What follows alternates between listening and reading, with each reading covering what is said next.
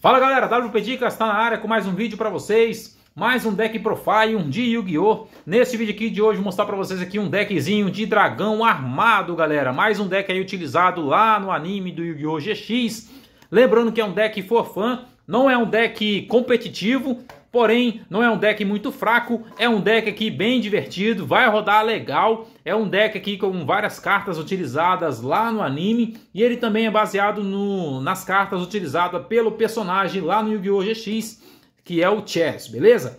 É, também lembrando que temos aqui a banlista baseado lá no formato do Tag Fosse. Temos 40 cartas aqui, média de 18 monstros mais ou menos. E vou mostrar para vocês aqui como é que, que é o nosso deck e como é que ele vai estar tá funcionando. Para rodar o nosso deck, vamos utilizar dois dragão armado nível 10, dois nível 7, temos aqui três nível 5 e três nível 3. Ó, até com bom? Vamos lá. Dragão mascarado, vamos precisar também de três. Dois dragão miragem utilizado lá no anime. Dois dragão lança. E temos aqui também dois Kamakiri voador. É, como é a estratégia desse deck aqui, galera? É, tem que ter uma estratégia aí de estar tá descartando monstros, né? É, inicialmente com nível 5 e o dragão armado nível 7. Então é um deck aí que tem que ter bastante monstros. Aqui eu acho que a gente temos 19. Vamos lá. As cartas mágicas importantes e as armadilhas a gente vai deixar aqui no balcão para mostrar para vocês aí como que roda. Vamos lá, três subidas de nível. Carta que não pode faltar aí no nosso deck destruição com pés, duas, controlador de inimigo. É, esse deck aqui roda legal, porém algumas vezes ele pode estar pesando, então por isso que a gente temos essas cartas aqui que pode estar nos ajudando. Reviver monstro, todo mundo já conhece, tufão, buraco negro, pote da avarice, carta que não pode faltar. Tiro do dragão também, espada da luz reveladora, tempestade pesada e pote da ganância são algumas cartas aí aqui também que vai estar limitadas, né? São cartas proibidas. Vamos lá, continuando. Luz da intervenção não pode faltar. Parede espelhada, como falei, o deck é um pouco pesado, essa carta não pode faltar. Ira do dragão, apenas uma cópia. E aqui algumas cartas que o pessoal já conhece, né? Tributos chamados dos assombrados. E o abaco vou deixar para vocês aqui para a gente tá lendo. Vamos lá, galera. Vou começar aqui pelos monstros, né? Para ficar bem mais fácil. Lembrando que a estratégia do deck é trazer o dragão armado, talvez até o nível 10, né? O nível 10 é bem difícil trazer. Mas para trazê-lo ele, a gente precisa do dragão armado nível 3. Como é que funciona? O dragão armado nível 3, você tem que colocá-lo em campo e na sua fase de apoio, no caso você passou a vez, a vez do seu oponente, seu oponente passou a vez novamente, aí começa a sua fase de apoio. Quando você, durante sua fase de apoio, você pode enviar este card para o cemitério, no caso ele no campo, né? E invoca em provocação especial um dragão armado nível 5 ou da sua mão ou do deck é a carta principal do, do baralho, é o dragão armado. Antes de mostrar o dragão armado nível 5, vou mostrar aqui o combozinho, ó. O dragão mascarado, ele é destruído em batalha, você traz um nosso dragão com 1500 ou menos de ataque do deck para o campo. Então é uma carta aqui que não pode faltar, né? Ele é praticamente o coração do deck. O Kamakiri voador também faz o mesmo trabalho do, do dragão mascarado, só que a diferença é que ele traz moço com 1500 de ataque ou menos, que seja do tributo vento. O dragão armado é de vento, então o Kamakiri está nesse deck por causa disso e também porque ele ajuda aí a gente está descartando ele com o efeito dos dragão armados. É, antes de mostrar os outros dragão armado, Tá, temos aqui o Dragão Mirage com menção lá no anime. Ele tem um efeito muito forte, cara. Que você atacando né, com seus dragão armado, ele tem efeito aqui de, de negar as armadilhas do seu oponente. Ó. Seu oponente não pode ativar cartas de armadilha durante sua fase de batalha. Tem um efeito aí, lembrando aí, os engrenagem antiga, mecanismo antigo. Não pode faltar essa carta no deck. É, eu coloquei ela em menção anime. E também para ela estar tá ajudando aí a gente não sofrer uma força do espelho aí, por exemplo, né? Então, Vai, vai ficar aí duas cópias. Dragão lança também uma carta que talvez para a gente pode tá diminuindo os pontos de vida do oponente inicialmente, né? Quando você ataca o monstro do oponente em posição de defesa, você causa dano perfurante e logo após o seu monstro fica em posição de defesa, outro monstro importante. Agora focando nos dragão armado, fizemos a invocação do dragão armado nível 5, aqui ó. A gente consegue trazer o nível 7 quando a gente destrói o monstro. Vamos ler aqui a descrição. Você pode enviar o monstro da sua mão para o cemitério, é o efeito que eu falei para vocês, né, de descartar, e depois escolher um monstro que seu oponente controla com ataque menor ou igual ao ataque do monstro enviado. E você destrói o monstro. Ou seja, temos aqui um nível 7 dragão armado na mão, a gente descarta ele e o monstro com 3 mil menos de ataque é destruído. O efeito do nível 5 é apenas um monstro que você destrói. E temos aqui agora, durante a fase final, se este caso destruiu um monstro em batalha neste turno, você pode enviá-lo para o cemitério e invoque provocação especial nível 1 dragão armado nível 7 da mão ou do deck, que é esta belezinha aqui, ó. Já ele, se eu não me engano, você tem que você pode descartar uma carta para destruir dois monstros. Vamos ver aqui. Dragão armado nível 7. Não pode ser invocado por invocação normal, lembrando disso aí, tá? O nível 5 você pode invocá-lo, tá, galera? Por invocação tributo. Você pode tributar um monstro nível 4 qualquer, ou 3, ou até menos, para invocá-lo, beleza? Você pode invocar o normal. Já o 7 não. Você não pode invocar normal baixado.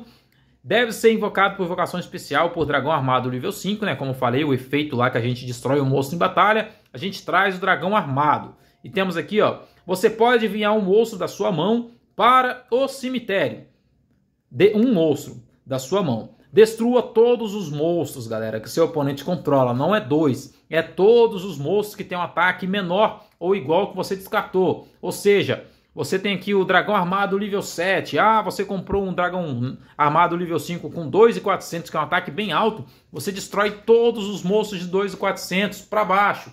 Muito apelão, cara. Esses dragão armado, rapaz, é forte demais. Além desse ataque aqui também, apelão. Vamos agora para o último. A gente colocou duas cópias de cada, até porque é bem difícil tá trazendo esse nível 10, né? Talvez o nível 7, se a gente colocasse três cópias, ia ser difícil invocá-lo. Mas com, com o próprio efeito dele, a gente conseguir descartar. Seria interessante ter três cópias, mas ainda assim acho que duas é o bastante. Dragão armado, nível 10, o mais forte, né? Aqui com 3 mil de ataque, lembrando dragão branco de olhos azuis, ele não pode ser invocado por vocação normal ou baixado e não pode ser invocado por vocação especial, exceto ao oferecer como tributo um dragão armado nível 7. Você pode enviar um card da sua mão para o cemitério, lembrando que esse aqui você tem que invocá-lo direto da sua mão. Você envia uma card da sua mão, esse aqui já, já é ao contrário também o efeito. Você pode enviar uma carta, qualquer carta, não precisa ser de monstro. Você pode enviar um card da sua mão para o cemitério para destruir todos os monstros com a face para cima que seu oponente controla. Ou seja, muito forte esse dragão armado nível 10, você precisa descartar apenas uma carta. E ele aqui também precisa estar tá na mão, como falei. E o dragão armado nível 7, se eu não me engano, você pode invocá-lo por invocação especial. Não pode ser invocado por invocação normal, deve ser invocado por invocação especial. Você pode, é, Aqui ele não fala que não pode ser invocado por essa especial do cemitério, então ele pode, só o nível 10 que não. O nível 10 só pode é, fazer um tributo do nível 7. Beleza? Falamos aí dos dragão armado. Vamos agora para a carta mágica, que aqui é o coração do deck, né? que é a carta que vai acelerar a estratégia subida de nível. Com a subida de nível, você envia um monstro nível com a face para cima que você controla para o cemitério. Invoque por invocação especial um monstro da sua mão ou deck que esteja listado no texto do monstro, enviado ignorando suas condições de invocação. Agora que está o X da questão, tá galera? Temos aqui, por exemplo, nível 7. Ó, temos o nível 7 aqui. E como eu falei, o nível 10 só pode ser invocado da nossa mão para tributar o nível 7. Porém, com a, com a subida de nível, você ignora as suas condições de invocação. Ou seja, você usou a subida de nível no 7, você consegue trazer o 10 do, do seu deck para o do seu deck para o campo. Então, essa carta aqui não pode faltar. Três cópias são obrigatórias. Beleza? Nosso deck é focado em dragão. Temos apenas o Kamakiri que é inseto. Mas beleza, o Kamakiri também não pode ficar de fora.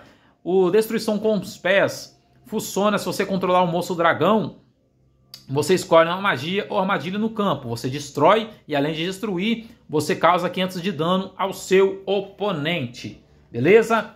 Vamos lá, é, talvez essa carta aqui você pode utilizá-la contra você também, né, dependendo da ocasião, mas aqui a gente não tem cartas que vai nos atrapalhar. Vamos lá agora, ó. Aqui temos o tiro do dragão. Se você controlar um monstro, um dragão, né, do tipo dragão, você causa 800 de dano ao seu oponente, ou pode escolher o segundo efeito, que não acho muito bom, mas pode ajudar, dependendo das ocasiões. Escolhe um monstro com 800 ou menos de defesa e destrua. O primeiro é interessante para fechar em pontos de vidas, o segundo também às vezes pode ser utilizado. Pote da avarice. É, como você vai estar tá descartando aí na maioria das vezes alguns monstros e você precisa dele no, no seu baralho novamente, essa carta aqui é interessante para o deck. Escolha cinco monstros no seu cemitério, embaralhe-os no seu os cinco no seu deck e ainda você compra duas cartas. Então essa carta para o deck não pode faltar. Tinha uma outra carta de livro que você mandava dois monstros livro para o deck, só que eu tirei ela e coloquei essa, achei bem mais interessante. Outra mágica aqui também, que como o seu deck às vezes pode estar bugando, né? Vinha os dois armados, nível 7, nível 5 e o 10 na sua mão, você vai estar aí com a mão bugada. Então o controlador de inimigos vai te ajudar, você pelo menos conseguir invocar o dragão armado nível 5 da sua mão com o monstro do oponente, que está aqui, ó. Escolha um monstro com a face para cima que seu oponente controla, mude para a posição de batalha do alvo. A segunda opção, que é a mais interessante, você oferece um monstro como tributo e depois escolha um monstro com a face para cima que seu oponente controla. Você pode pegar o monstro dele, né? Ele vai ficar sem monstro, caso ele tenha apenas um, e você vai invocar o seu dragão armado nível 5. Então, esse controlador é, de inimigos Talvez um só seria bem bacana, mas eu preferi tá deixando dois. Vamos agora para as armadilhas. Para tá ajudando nós aí se defender um pouquinho, o Abaco é bem interessante. Nesse turno você não sofre dano de batalha causados por moços do oponente. E nesse turno seus moços não podem ser destruídos em batalhas. Ok, muito boa. Aqui todo deck de dragão tem que ter pelo menos uma cópia dessa daqui, né? É, talvez duas dessa aqui seria bem interessante, mas para o jogo apenas uma ativada é o bastante. Destru é, durante a fase de batalha, né? Se você tem um monstro dragão e atacar um monstro em posição de defesa, você vai causar dano perfurante ao seu oponente, caso ele esteja em posição de defesa. Então a ira do dragão é muito boa. Essa parede espelhada, como a gente não temos cartas equipamentos que aumenta o ataque dos nossos monstros, essa carta aqui vai ajudar. Cada um dos monstros do seu oponente que conduziu um ataque, enquanto essa carta estava com a face para cima no campo, tem seu ataque diminuído pela metade. Enquanto este card permanecer no campo durante os de suas fases de apoio, você tem que pagar 2 mil pontos de vida para mantê-lo no campo, ou então você destrói ela. Então essa carta aqui ela é como, como se fosse uma carta armadilha que vai você vai ativar apenas uma vez. Mas a não ser que você queira pagar 2 mil, eu ainda acho que 2 mil é um bem pouco para pagar né, apenas uma vez. Ainda você consegue deixar ela aí dois turnos no campo para travar o oponente. Dependendo da sua mão, ela pode te ajudar. Esses 2 mil talvez não vai ser nada, mas aí vai de cada um. É uma carta que não pode faltar aí armadilha. E agora aqui talvez a carta armadilha mais interessante pro deck. É, uma cópia também eu acho bem bacana, né? Duas talvez seria essencial, mas eu preferi colocar apenas uma.